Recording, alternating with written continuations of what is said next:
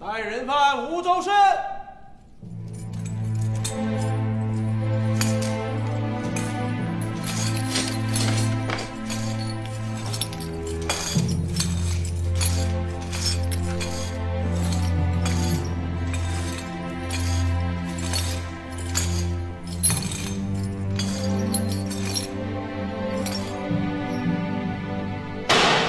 吴州市。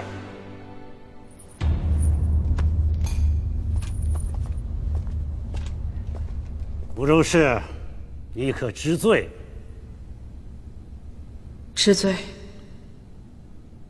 吴州市，你还有什么话要说吗？没有。嗯。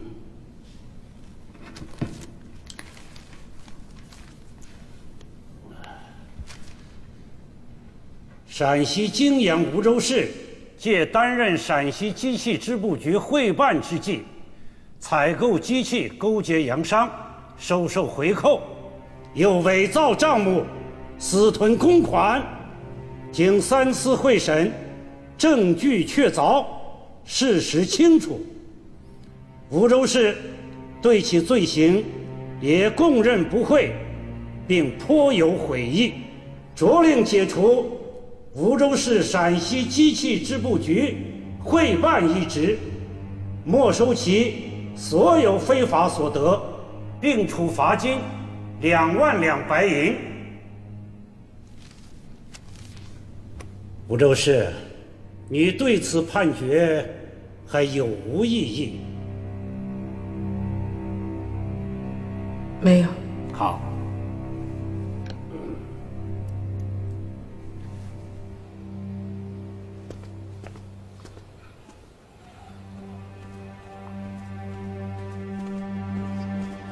赵大人，人怎么还没有出来？别着急，就算刑部判了，大理寺还要复核，总要费些周折。今天肯定能出来吧？肯定。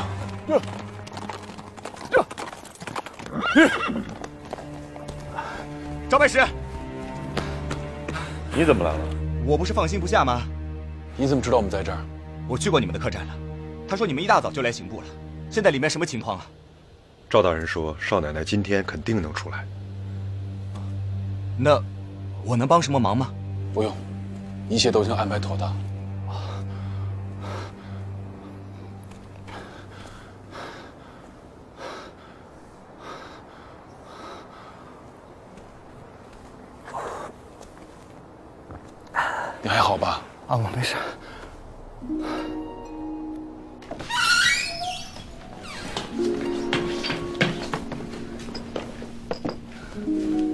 老爷和嫂子他们可回来了？没见人影。那你回来干什么？我给你准备点吃的，我怕你饿。我哪里吃得下？你快去门口守着。哦。等等，我和你一起去。哎，小姐，你就在房间里等着吧，等他们回来了我叫你。我放心不下。先生，今天到底还走不走？再等等，再不走城门就要关了，今天就走不了了。先别着急，我不跟你说了吗？我按天数给你结，一文钱都不会少你的。今天肯定走。啊。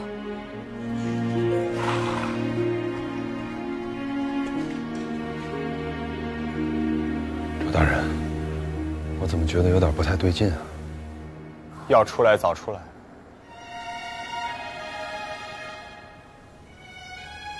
夫人知道鸿盛客栈，吴家的人都知道。这样吧，你们先回客栈等着，我去问一下。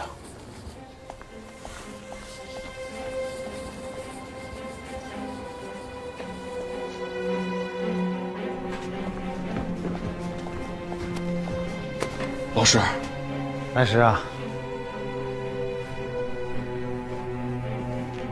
你来的正好，我也是刚刚得到消息，按照安排好的程序，一切都很顺利，本来就要结案了，谁知道王爷突然驾到，他说吴州市的案子牵涉甚广，他要亲自重审。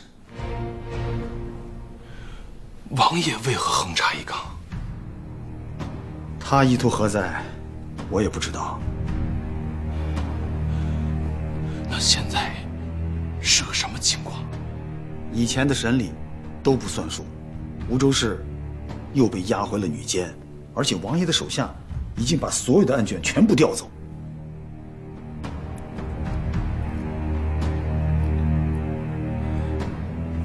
此事还请老师斡旋。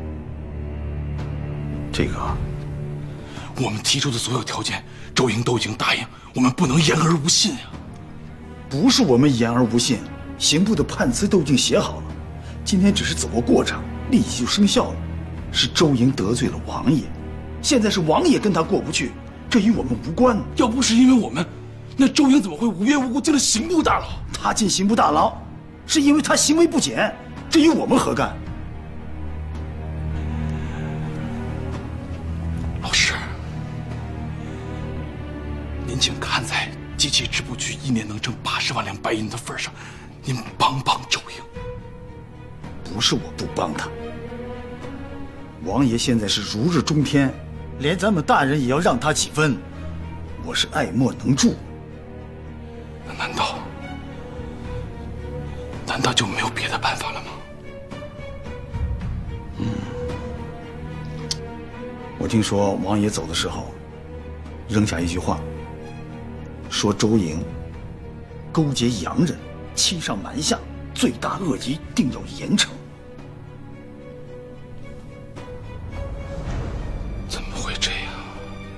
我也不知道。现在不光是我不能碰此事，还有你，我也要劝你，别再为吴州市出头了，免得一不小心沦为通案犯。好在我们抢先一步，和吴州市签了契约，要不然的话，机器织布局最终会落到谁的手里，那就很难说了。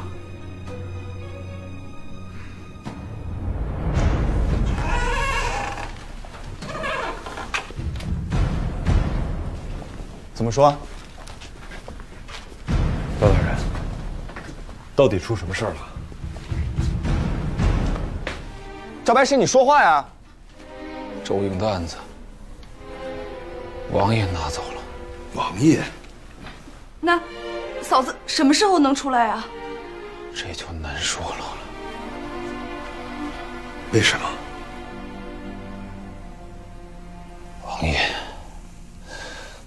似乎对周莹厌恶入骨，放出话来说要严惩。严惩？怎么个严惩法？我不知道。会有性命之忧吗？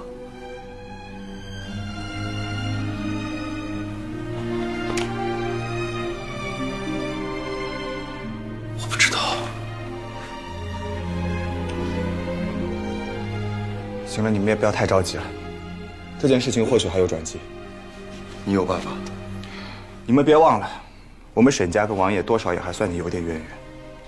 本来我这次来京城呢，就是想通过王爷把周莹救出来。沈星移，你根本不了解王爷。在我眼里，他们是同一种人，认钱不认人的人。你也不懂朝政，你这样贸然行事，会弄巧成拙。赵白石，是你答应过我会安全救出周莹的。既然现在你无能为力，那就我上。沈星移，现在不是你逞能的时候。我只知道现在周英还在大牢里关着，生死未卜。我必须要把他救出来。沈星移，沈星移，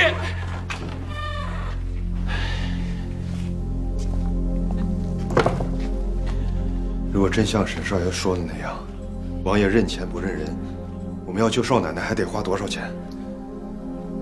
怎么还得一个机器织布局？我现在就回泾阳。你等等，先别着急，我再去求求老师，也许还会有办法。不管用什么办法，不总得花钱吗？我现在就回去筹钱。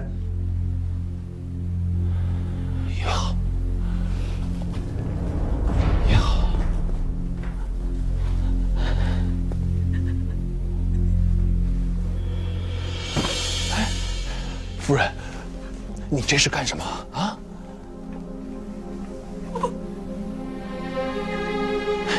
你别着急，我再想想办法。如果老师能够想出办法帮我们的话，你嫂子会有希望的啊！是我，是我将那些东西放进嫂子的书房里。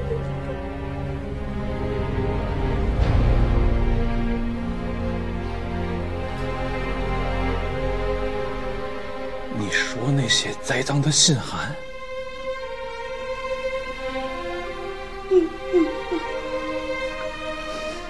那些栽赃的信函和收据是你伪造的？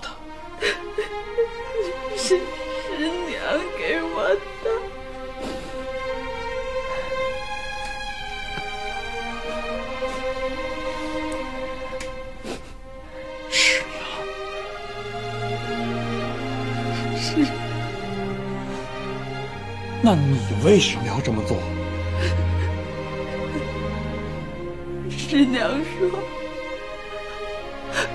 只要我这么做了，你就能官复原职。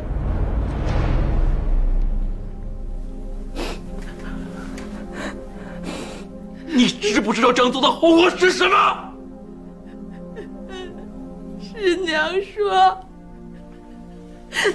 嫂子最多就是被神吃一顿，损失点银子。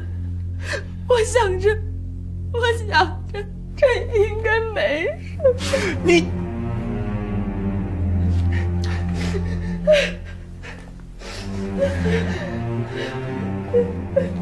这你也信？如果我知道嫂子会被抓起来，我有性命之忧我绝不会干。我一定。